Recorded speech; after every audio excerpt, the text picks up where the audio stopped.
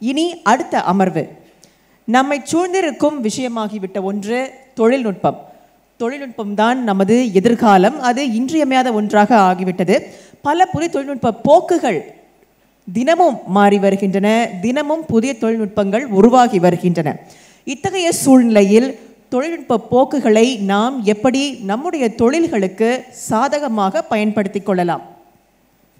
இது பற்றி நம்மோடு பகிர்ந்து கொள்ள வருகிறார் ஏடிஎன்டி இல் ஏடிஎன்டியில் குளோபல் இன்ஃபர்மேஷன் செக்யூரிட்டியின் துணைத் தலைவர் திரு கார்த்திக் ஸ்வர்ணம் ரைட் அனைவருக்கும் வணக்கம் good afternoon thank you so this is my first IPCN So we should give a round of applause to the organizers of the IBCN. It's a fantastic event, and uh, really thank you. So so you know, as, uh, as the, my, my MC, you know, introduced me, I work for AT&T. I'm based in Chicago. So AT&T, a little bit about AT&T, right? AT&T is, uh, was uh, founded by Alexander Graham Bell, who invented the telephone company about 140 years ago, right? We're a $300 billion company. We have 300,000 employees all across the globe, and uh, we're primarily a telephone company. But with that, what do we do today? We don't use the phone to make phone calls anymore. We use the phone for everything else, right? It's a camera, it's an alarm clock, it's your flashlight, it's your watch, it's your map, it's everything but phone call, right? Hold the thought for a second and I'll get to it in my few slides coming across, right? With that said, let's get started. Okay.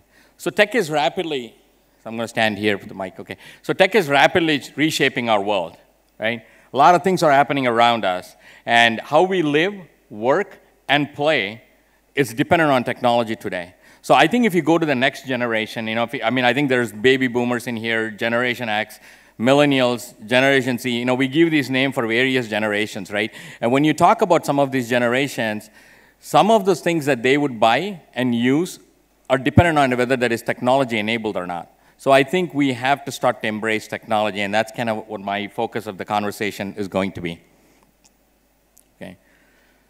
So do you all recognize some of these uh, logos in the, in the slide? So what have they actually done? I mean, we all know Uber is not a taxi company. And if we all thought that taxi companies cannot be displaced or supplemented, Uber actually suggested it did it, right? There has been a study that's been done that people are stopping to buy cars, at least in the US, where they can use Uber for it, right? Netflix, they're not a content company. They bought the content from somebody else, but they created the experience. You know, I know yesterday Mustafa was talking about product, experience, and story, which is actually very critical, right? You need to have a decent product, but the experience has to be out of the world. And that's exactly what Netflix and these guys have done, right? I said uh, we, were a, we were a phone company, 140 years. We pride ourselves that we invented the phone. But if we were holding on to our laurels, we would be disappearing, right? As AT&T would be disappearing, right? So because WhatsApp, everybody uses WhatsApp. Nobody pays us pays for anymore for international calling, STD, ISD, all kind of stuff, right? That revenue stream is actually depleting.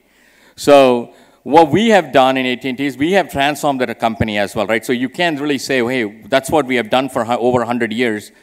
But then in the last 10 years, we've kind of migrated off and said we're going to be doing a lot of other things right? So we're into the media business. If anybody has watched Harry Potter, uh, that's that's that's part of Warner Brothers, which is part of AT&T. If you watch CNN News, that's part of AT&T. But everybody thinks it's a phone company, but we do a lot more than that. And that's exactly because the market demands it, the customer needs it.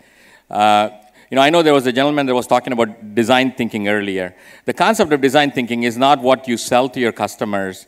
You need to sell what the customer wants, and you adopt your company to do that right? So that's exactly what, what we're doing, right? Like NextVR, um, we work with them to talk about how a blind can see, right? So take, take a blind and uh, a blind person, and a blind person can be communicated and he can see that, right? So how technology is actually transforming, if you're in the medical business, if you're in the TV business, if you're in the taxi business, or for that matter, it can be any business,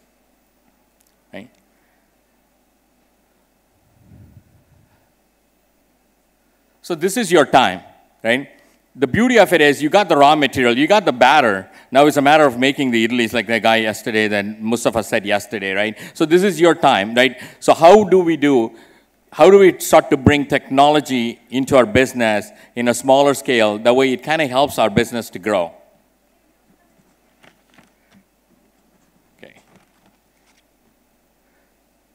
So I want to I want to take a couple of minutes, like segue into what's happening around us, right? So Internet of Things that we call it.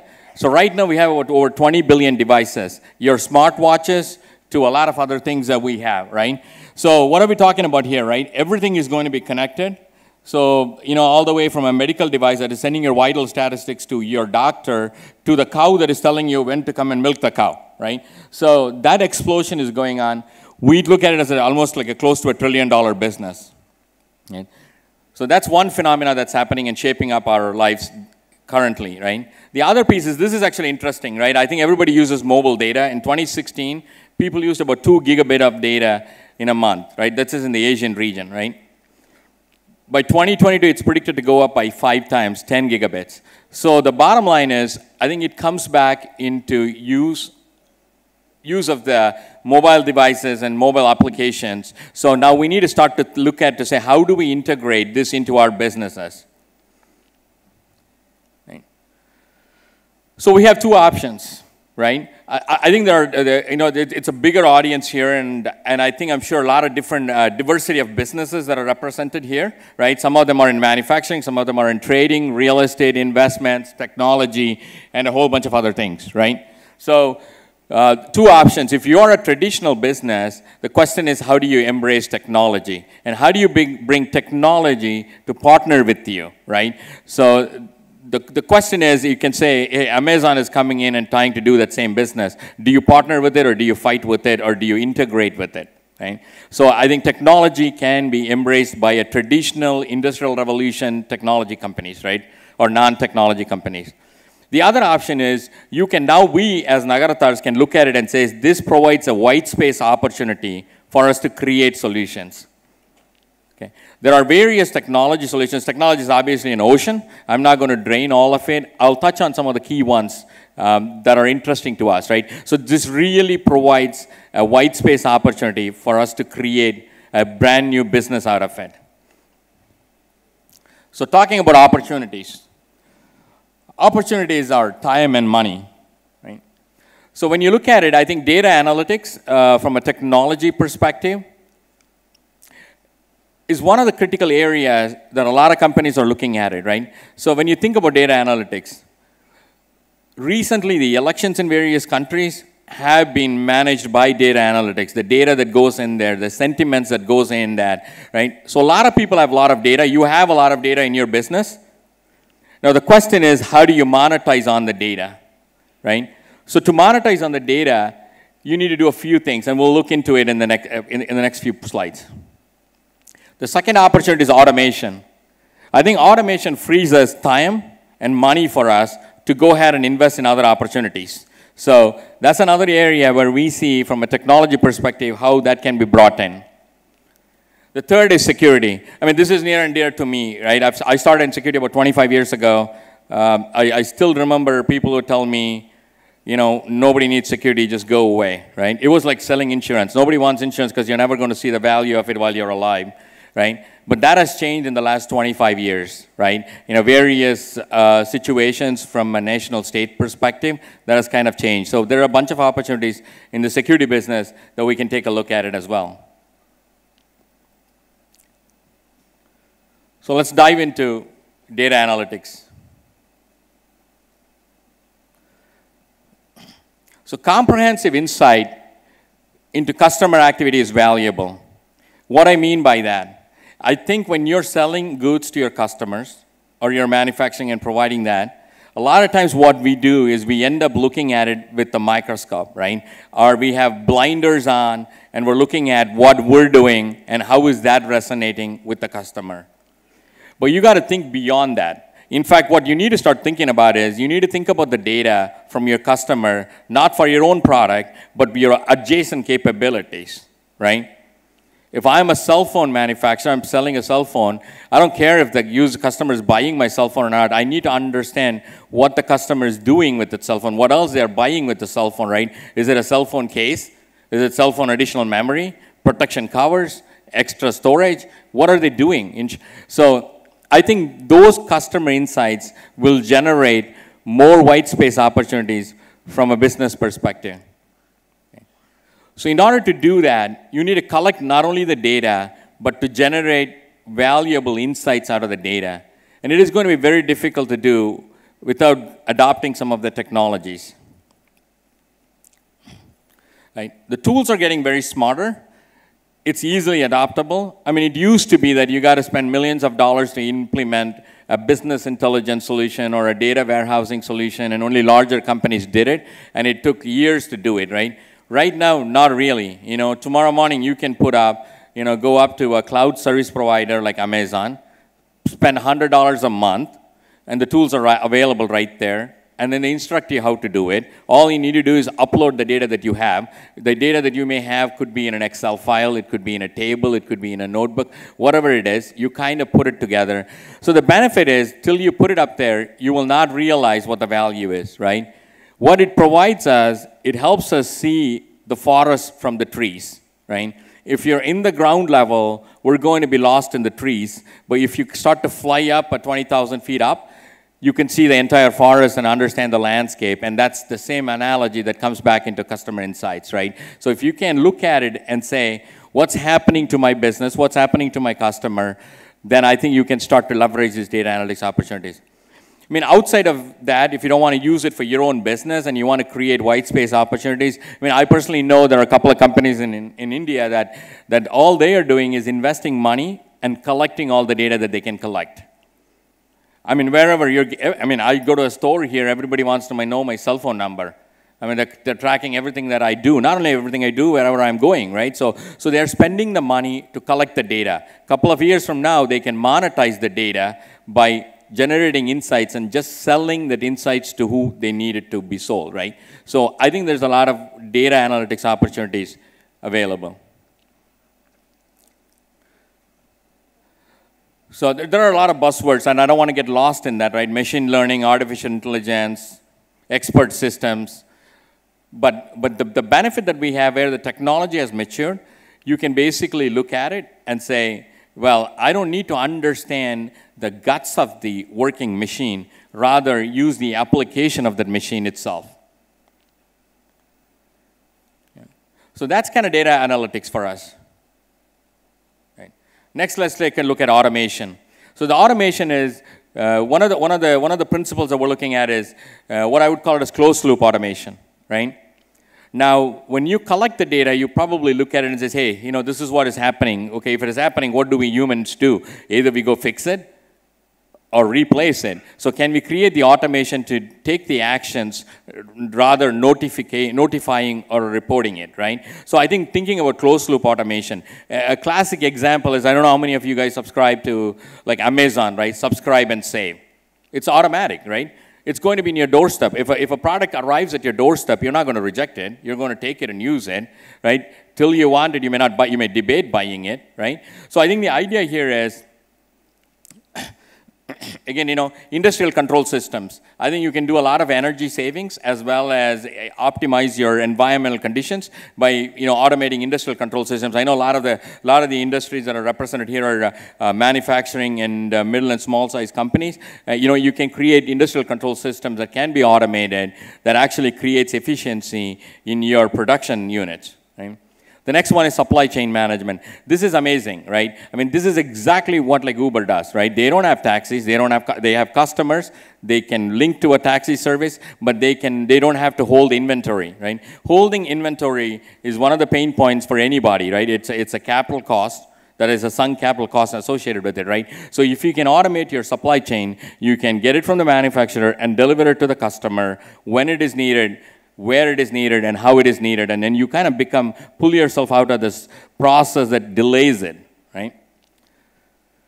So supply chain management is a great place to look at it. Uh, from an automation perspective. And there are a lot of tools out there, right? They, they talk about playbook automation and closed loop automation.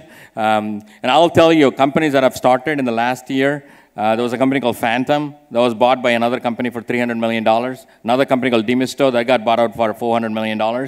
And there are four other companies, they all got bought out by, by bigger companies, right? So people who are talking about automation, you don't hear this thing, you hear about everything else uh, so far, but this is the next wave if we want to latch on to. Right? The, the benefit that, that a lot of the businesses start to look at and see is uh, it, it, it eliminates the friction right? I know, I know friction, friction is not necessarily a good thing for the business, uh, and it kind of speed, speed, speeds the time to market, which is very, very essential. You know, you want to produce, you want to get it to the customer, and you want to make the money right then and there and move on, right? So I think time to market is an essential thing. When we are in a world where, which kind of embraces agility, which is basically, I want to do what you want and I want to do it quickly, that's going to be very valuable, right? I mean, I know earlier, uh, um, uh, Ms. Hemalatha Annamalai was talking about how in three months they could do prototype, and that kind of pushed them out, right? So speed to market. And when you can automate your mundane tasks, um, as part of technology, and the technology is available to doing it today, right? So that actually frees up your capacity to go and work on other strategic, high valuable things that can help you speed to market from your product perspective. So the third phenomenon is security. I mean, let me get started on that thing, right? So first, first of all, as I said, 25 years ago, I would probably put this market at maybe a million dollar market across the globe, right? Right now, it's been projected to be a trillion dollar market, right? The annual budget for U.S. government is, is between four to five trillion dollars. One fourth of that is going to get spent. It's probably a lot, I mean, probably two or three-fold of the Indian budget, right? So it's a trillion-dollar business.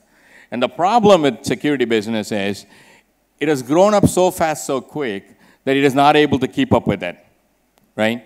So, I mean, another interesting fact about security is in 2019, end of 2019, we have 1 million jobs that cannot be filled because we don't have skill, skilled individuals to do security jobs. So actually, I'm part of a nonprofit organization where we push for security skills uh, all the way from high school, right? Um, you know, trying to teach them what is more meaningful so that they can go into the workforce quickly. So the reason I kind of highlight that is, is for two reasons, right?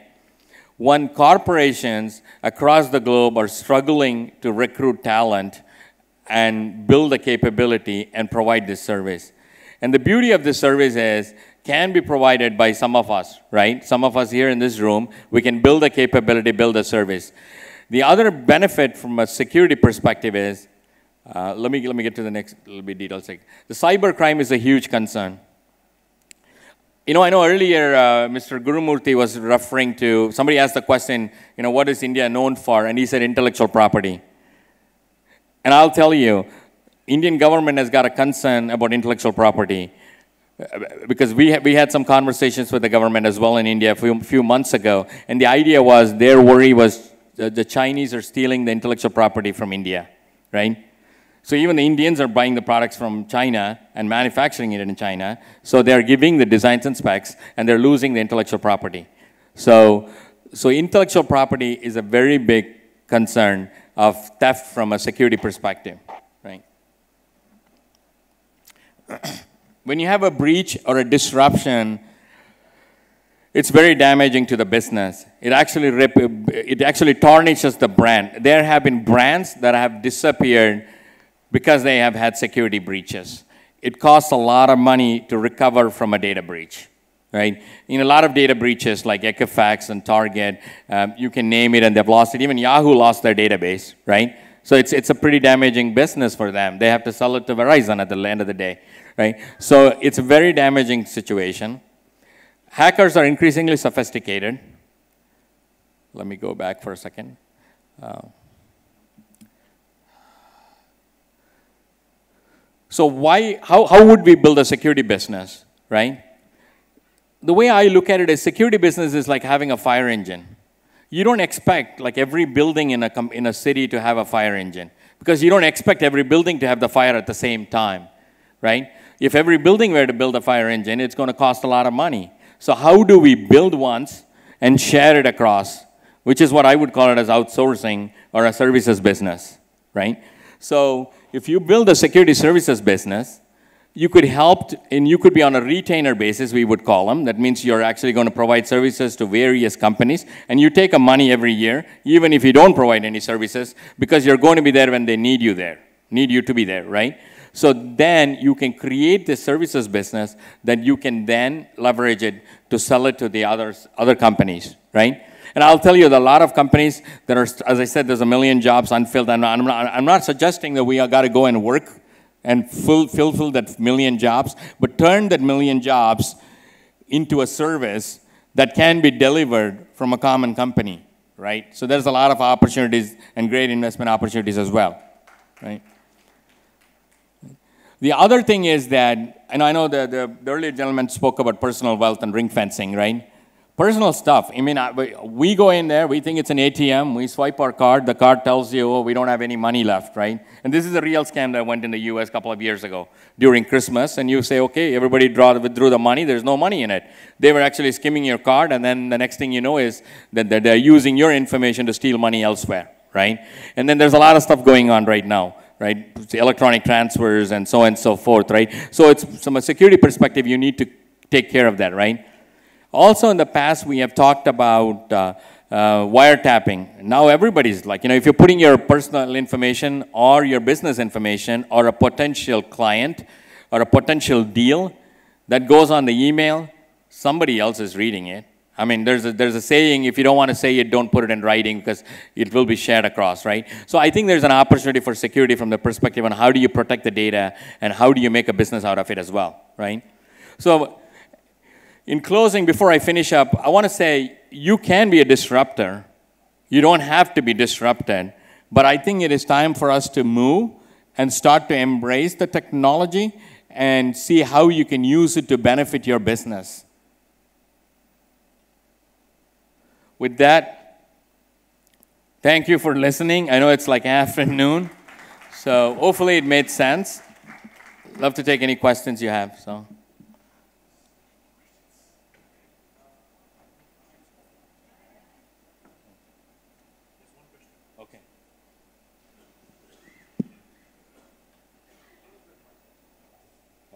What is your advice for the startups who create technology solutions? I think I'll tell one thing, right? Make it fast. Fail. But one thing I'll tell you is fail, fail fast. Time is money. So I think whatever you want to do, you got to do it sooner and sooner than later, right? Have good mentors. I think as Hemalatha Annamalai said, having good mentors is always helpful. Um, and create a solution. Talk to your customers, um, and then and find out what is the right technology solution that you want to create, right? And then if it's a failure, it's a failure, but fail fast, right? Fast is the key word. Speed is mark, time to market, right? So uh, make sure that you understand what you're trying to create, who, you, who, who is your customer, what is the experience that you're trying to provide, right? The product is sort of secondary. The experience and the problem that you're solving is much more primary. So I would rather not walk up with a solution. I would rather ask what solution needs to be done. All right, thank you. I'm going to be around for the rest of the afternoon and happy to have a conversation. I enjoy the topic, so thank you. I think that was quite an enriching session about a growing industry. Thank you, Mr. Karthik Swarnam. Give him a round of applause.